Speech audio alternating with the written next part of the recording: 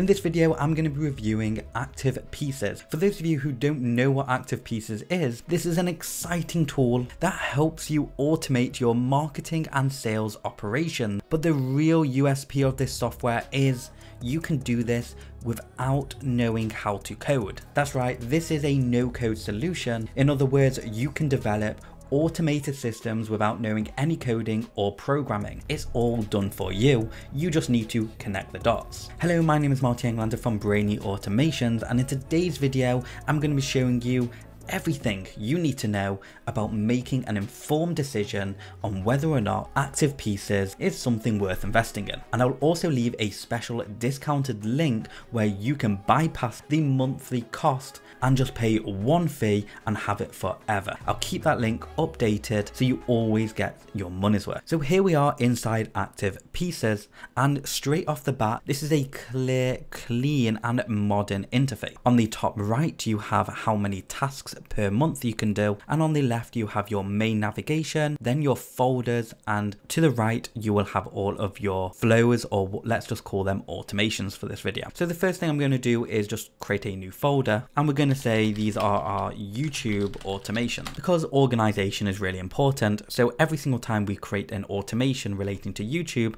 it's going to go in this folder. Next, we're going to click on new flow and we have all of these done for you templates that we can utilize, which is pretty cool. And we can even filter them by the apps we want to use but we're going to build one from scratch just to show you how it's all done. So we're going to click on start from scratch and then we're going to select our trigger and I'm going to connect YouTube. Connect, we're going to set the trigger to be a new video in channel and now we need to go ahead and get a channel ID. Here I am on YouTube and I'm going to go to this. Now usually in order to get the ID of a YouTube video you would need to right click, go into view page source and you'll have to filter through this code to try and find the ID. But don't worry, Brainy Automations has your back. I've developed a little Google Chrome extension that will let you click and grab the channel ID. I'll leave a link to this plugin in the description below. Now we're going to go ahead and paste that ID in this field here. And now we're going to click load data. So now it's loaded all of the data and we can move on to the next step. We're going to click on this plus icon and we're going to say Google Sheets. We're going to do insert row, connect our Google Sheet document. And now once that connection's been established, we can select all the different sheets that we have in.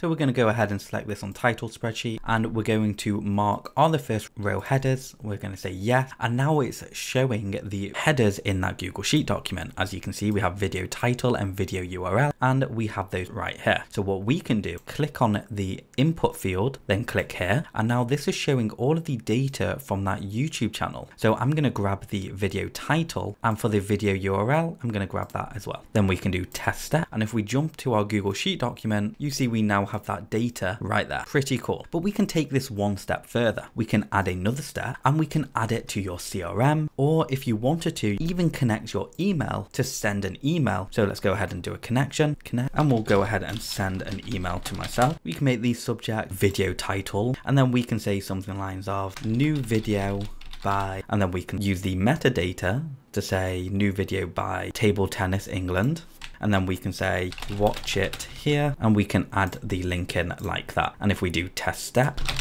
that's now been successfully sent. So let's go to my emails and you can see I have this new email. If I open that up, we now have an email right there. We've got the video title name as the subject line. We then have our static text that we added and then we've got the link that will take us straight to that video. And then all you need to do is click publish and now that will be automating without you over and over. So you'll do that one thing once and boom, it's now automated and will run whilst you sleep. You can duplicate these or delete them. Then you can click on runs tab and this will tell you every single time these automations run without you and if they've failed or succeeded. This will show you all of your connections. So in other words, every single time you add an app to Activepieces, it will show you that connection so you can decide if you want to delete the connection or just see what's connected. You can also invite your team members to the platform just by clicking the invite button and entering in their email. Now, one final thing before we end the video and I share my thoughts on this, if you head over to your account and then click on my pieces, this is where you can install custom things into your platform so you can start using it.